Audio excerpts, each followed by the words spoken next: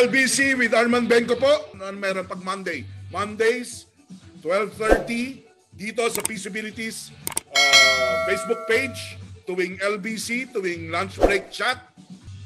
Kasama natin Dr. uh, Eleanor B. Tan, si Ate Doc. Welcome!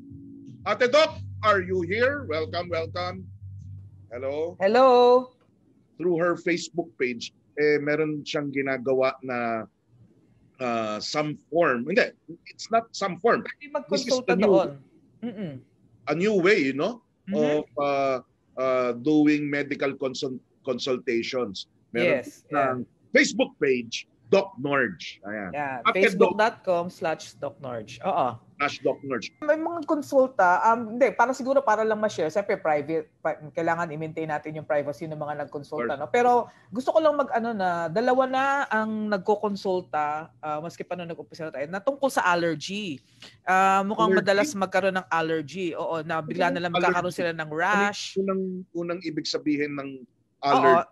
Ah, well, kasi hindi ko alam, frankly, hindi ko alam ang sa Tagalog yun. eh. Pero yung nagkakaroon ba ng rash, either sa braso, sa muka, leeg, di ba? At usually naman nahahalata nila yon pag may kinain, usually malansa or something.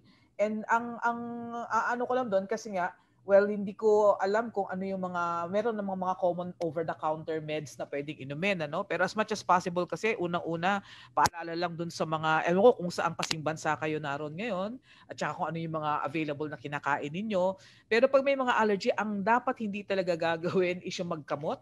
Alam ko Makati, kasi Makati talaga. Pero wag, Armad, huwag mong pakita kung paano. Pero ano, um, yon kasi pag na pag na pag kinamot natural mag, ma, baka magkaroon ng iritasyon magka-impeksyon mas iba na mas complicated na yon ano ah isa sa mga common kasi na ano is yung pag may kinain na malansa it's either ah, kung merong seafood na kinain or itlog or uh, chicken may mga may mga ganun kasing effect yung mga pagkain na yan so isa sa mga unang dapat gawin wag kakamutin. Pangalawa ah, lalo na kung kunwari hindi nyo alam kung bakit at ah, ah, bigla na lang naglalabas ng rash. Lalo na kung ah, buong katawan agad. Malamang yan ano baka din meron sa ginagamit yung sabon o pabango. So eh, madalas na na sinasabi ko kung kunwari ganyan um, wag mo nang gamitin yung mga sabon na kahit masabihin nilang anti-germicidal or hindi ko na sabihin yung mga brands pero mas mabuti yung ah, mga sabon na white walang kulay walang amoy kasi para mas less ang irritation. Siyempre, kailangan nating maligo. Di ba, Arman? Kailangan nating maligo. Na- Three times a week. Three times a week. Three times a week, ha? Oo. Three So, parang, oo. So, yun, na ang pag nagkakaroon kayo ng mga ganito mga breakout, mas mabuti siguro ang gamitin yung sabon kasi either sabon or kung meron kayong mga liquid um, bath, ah, yung mga ah, shower gel, mga ganyan, mas mabuting walang pabango, walang kulay kasi mas lalo nakakairita yon. So, Pero, yun lang mga dyan. Kasi ano eh, uh, individualized siyempre ang mga paggamot ng mga ganyan. So hindi naman lahat ng allergy pare-pareho. So mas mabuti nga talagang one-on-one which I'm glad na uh, salamat po sa pagtitiwala dun sa mga nag-avail uh, na uh, ng konsulta. So yun, mas mabuting may individual discussion kasi sabi bawat tao may bawat kahit sabi mo allergy, iba yung allergy mo sa allergy ng ibang tao. So mas magandang individual discussion siya. Pero in general yon no?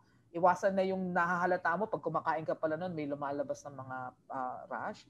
And then kung kunyari all over the body, mas mabuting yung mga wala mo nang masyadong cosmetic, walang pabango, walang kulay na mga sabon, ganyan. ano ba yung insomnia at sakit ba itong insomnia? Ah, Okay. for the benefit of ano, para Okay, may yung- baseline Oo. Siyempre, pag, ang alam naman natin, pag sinabing insomnia, nahihirapan matulog. Okay? Yun naman ang ibig sabihin nun. So, it's either nahihirapan ka mag-umpisa matulog or na actually nakatulog ka na at biglang magigising-gising, di ba? So, ta- hanggang Ah, sa hindi talaga yun. rested. Oo. Pwede kasi combination of both. Nahihirapan ka na nga mag-umpisa. Let's say, o sige, handang-handa ka na matulog, nakahiga ka na, tapos hindi dumadating yung tulog. Or nakatulog ka na, tapos eh, pagising-gising nga. Pwedeng combine. Pwedeng either one or combine. Ngayon maraming usual causes niyan. Well, sang panahon ngayon kasi maraming worries, maraming ano, stress can be a big uh, factor. Um, sinasabi nila kung, may, kung masyadong malaki yung masyadong marami kang kinain nung gabi at lalong tas one less than less than 2 or 3 hours later eh, matutulog ka na which is actually masarap matulog pero nahihirapan kasi siyempre kailangan pang iproseso ng katawan mo lahat yon pag umiinom ng alak naninigarilyo ah, malapit sa pagtulog na ganyan um, ano ba ba yung mga iba pa? May mga ibang mga, pag meron palang niresetang mga gamot sa inyo, may ibang mga gamot na posibleng nakakaistorbo ng tulog. Uh, meron din na kung kunwari may diabetes na madalas umihi, di ba? Madalas umihi. So, siyempre, kung gigising ka sa gabi para lang pumunta sa CR, hindi na dire-diretso yung tulog. Malaking bagay din yon no? So, yun. Ngayon, ang usual, uh, oh, ang usual kasi yung tanong is, o oh, sige, ilang oras ba talaga dapat matulog, right? Ilang oras ba? Ang sabi nila, the best way para malaman mo, kasi individual, individual yan eh. No, usually, sinasabi nila, mga, mga matatanda, yun ang mas na-ini-insomnia. Because, siyempre, habang tumatanda tayo, wear and tear ng katawan, mas marami nang nararamdaman, malamang marami nang iniinom na gamot yan, may mga ibang mga karamdaman na yan. So more likely, yung mga may edad, yun ang mas madalas nagkaka-insomnia. Pero of course, anybody, all adults are, are, are, are possibly can have insomnia. Especially ha, ngayon, katulad na stress ang, na, ang nangingibabaw sa atin ngayon. Takot sa, sa COVID, takot sa mga pangyayari na nakikita natin, ang mga uncertainties, ganyan. So yun, no? Um, uh, ang ang inaano nga nila is para malaman mo kung gaano kadala kung gaano kadaming oras talaga ang kailangan mo. Sabi nila, uh, maglaan ka ng isang araw na kunyari wala ka namang papasukan sa susunod na araw, let's say weekend, talagang matulog ka, tapos walang alarm clock, tapos gumising ka kung kailan magigising ka. So makikita mo kung ilang oras talaga na feeling rested ka ha, na talagang walang istorbo sa pagtulog. Yung iba 6 to 8 hours ang sinasabi, no? Pero kasi sa totoo lang, um, on the average yun. Pero sinasabi nga, mas mabuti kung, nakaka, kung nakakatulog ka na at least dire-diretso ng 6 hours. So, usually, mas rested ka no? na hindi talaga nagigising sa gitna ng gabi and all that. You know? So, yun.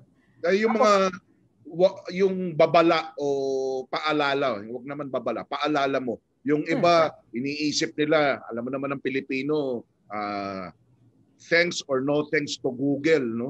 uh, nagsa-self-diagnose at na uh-huh. lahat tayo naggagaling-galingan. Uh-huh. Hindi naman uh-huh. namin eksperto, hindi naman Uh-oh. namin uh, pinag-aralan katulad yung ilang ilang taon ka ba nag-aral para mag Matagal. Matagal ako nag-aral. Pero so, hindi naman paulit-ulit, di ba? hindi ka naman yung nag-overstay.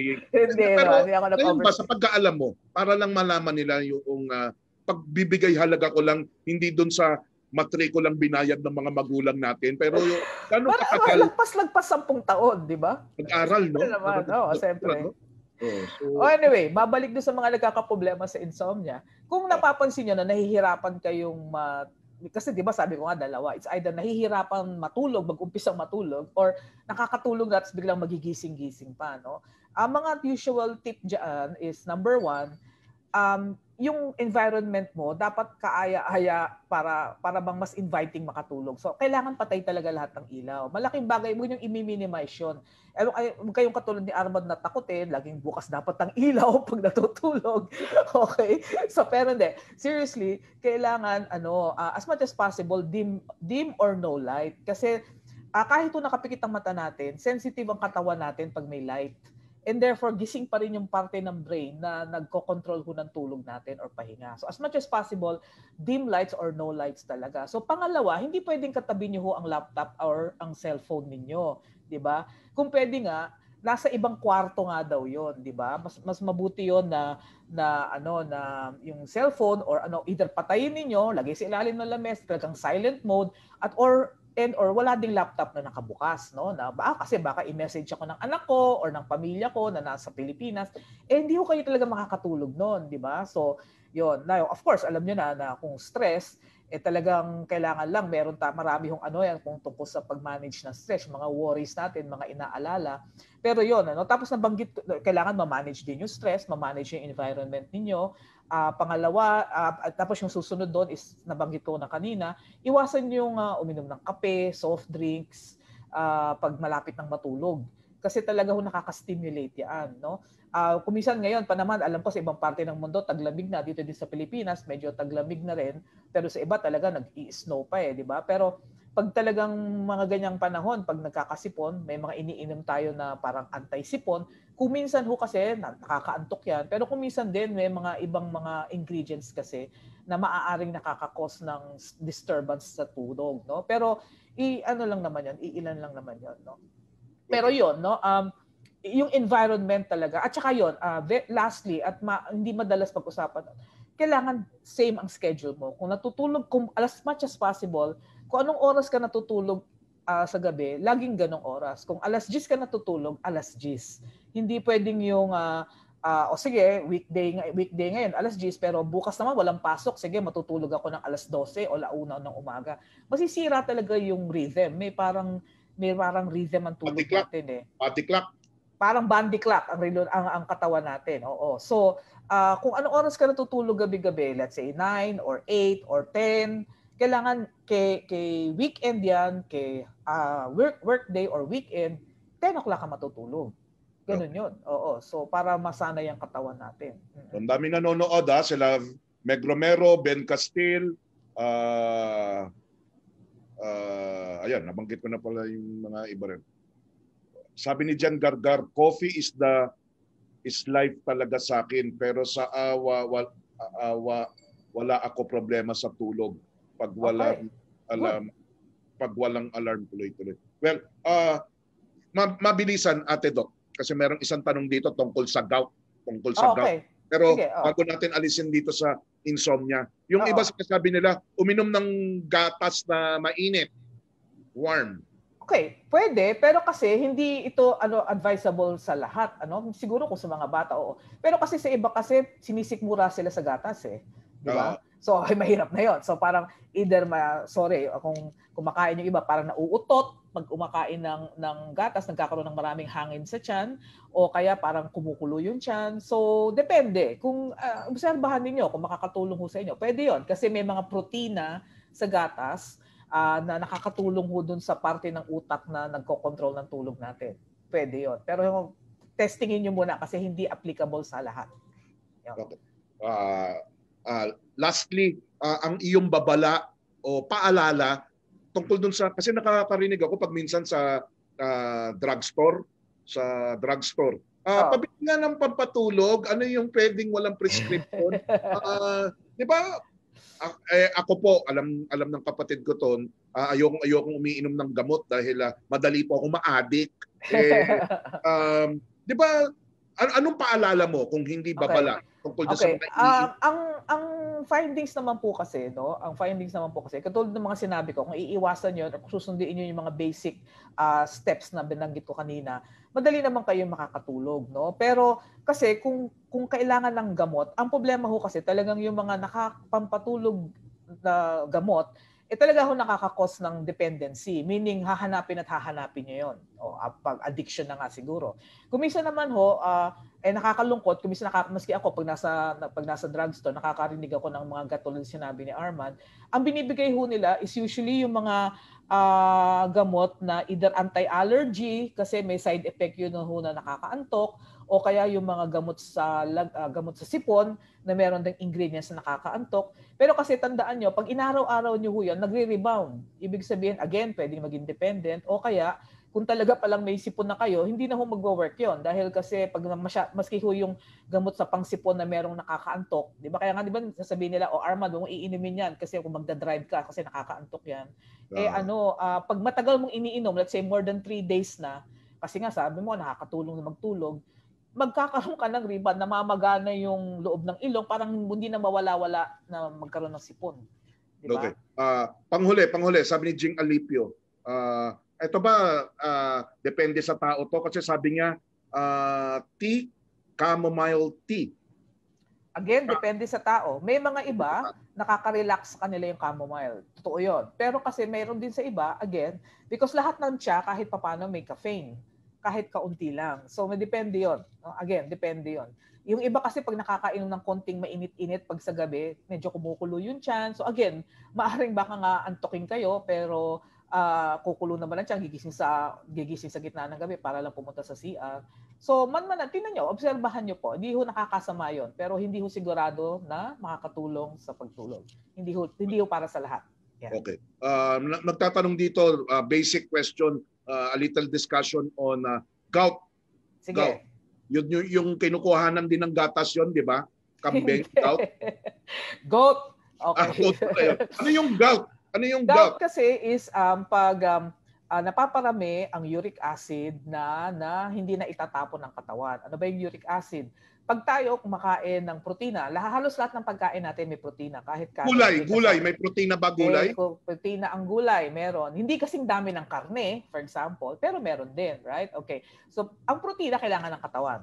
No problem doon, right? Naintindihan natin yon. Pero pag sumosobra, pag nagbe-breakdown na kasi yung protina na yon para gamitin na ng katawan, isa sa mga produkto niya, uric acid. Now, may silbi yon, pero pag sumosobra na, yun, naiipon ho yun. Kaya kung minsan sabi nila, parang alam ko pag tumataas ang uric acid ko, sumasakit yung mga kasukasuan, di ba? Hindi ko madiretso yung daliri ko sa umaga, o kaya na yung parang ah, yung ah, mga sa talampakan or whatever. So yun yung ano ng gout. So masyadong mataas ang uric acid usually ng mga taong yon, no? Um, and yes, may mga gamot para diyan. Kailangan ho patingin ho kayo para marisitahan at para makita ho ng doktor talaga. Kahit ho sa telemed, pwede tayong ganito na naka-camera, pakita nyo yung parte na ito ho, doktora, namamaga, nakikita nyo. Mga ganun ba? Ah, para talagang maano kung, kung gout. May mga gamot ho para dyan. Pero siyempre, again, pag-iwas dun sa mga pagkain na, na mataas masyado sa uric acid. Na sinasabi nila, pag ina ang mani, for example, hindi naman masama yung mani, protina din yan eh, galing halaman, right? Okay, kung vegetarian ka. Pero kung